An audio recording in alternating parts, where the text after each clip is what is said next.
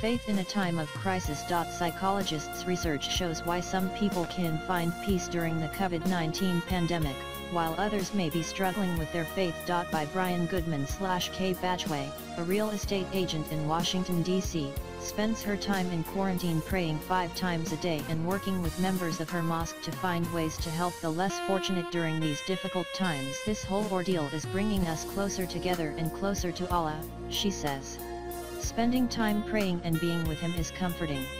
Bajwa is not alone in turning to her faith to weather life's storms. Religion and belief are now seen by many researchers and clinicians as an important way to cope with trauma and distress thanks to research over the last three decades. Religion was largely looked upon as an immature response to difficult times, says Kenneth Pargament, Ph.D., Professor Emeritus of Psychology at Bowling Green State University, who since the 1980s has been on the forefront of the research on religion and resilience. Despite the attitudes he faced at the time, Pargament and a handful of others pressed on, conducting research on the impact of religion on people's mental health. That research identified positive and negative forms of religious coping as well as evidence that how people experience and express their faith has implications for their well-being and health. People who made more use of positive religious coping methods had better outcomes than those who struggled with God, their faith, or other people about sacred matters, Pargament says. Positive and negative aspects. What are those positive effects? Research shows that religion can help people cope with adversity by encouraging them to reframe events through a hopeful lens. Positive religious reframing can help people transcend stressful times by enabling them to see a tragedy as an opportunity to grow closer to a higher power or to improve their lives, as is the case with Bajwa. Fostering a sense of connectedness. Some people see religion as making them part of something larger than themselves. This can happen through prayer or meditation, or through taking part in religious meetings, listening to spiritual music or even walking outside. Cultivating connection through rituals. Religious rituals and rites of passage can help people acknowledge that something momentous is taking place.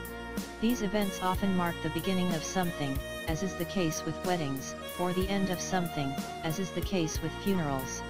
They help guide and sustain people through life's most difficult transitions.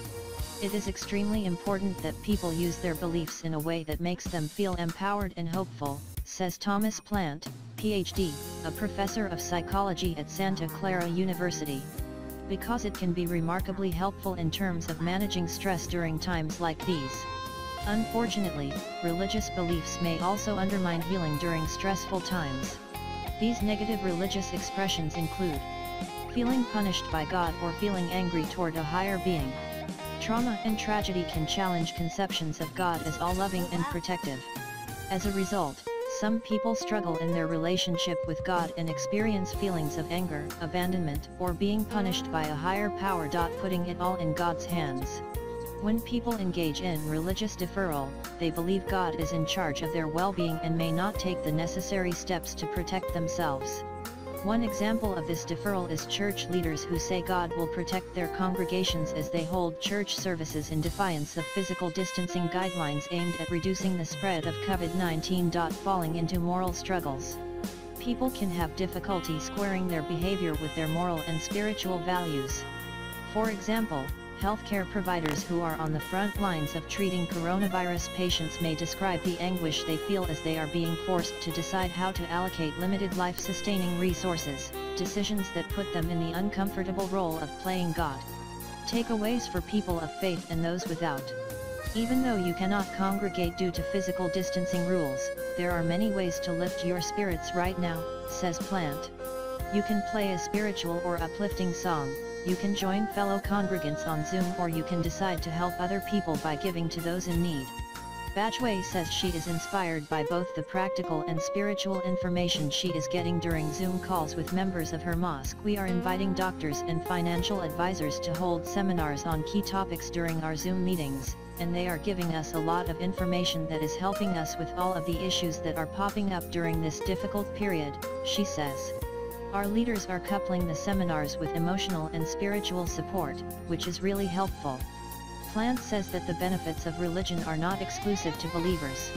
There are so many religious practices that are now used by non-believers, he says. Yoga comes from Hinduism and mindful meditation from Buddhism, yet agnostics, atheists, and people of all belief systems now take part in these traditions. Plante says atheists and agnostics can seek inspiration in literature, nature, and by connecting with others, but he notes that the world's religions are ready-made for when the world is turned on its head. Religion has been helping people get through hard times for thousands of years, he says. It's tested and ready to go at a moment's notice. Just read the Psalms and you will see that it is all about people turning to God during troubled times.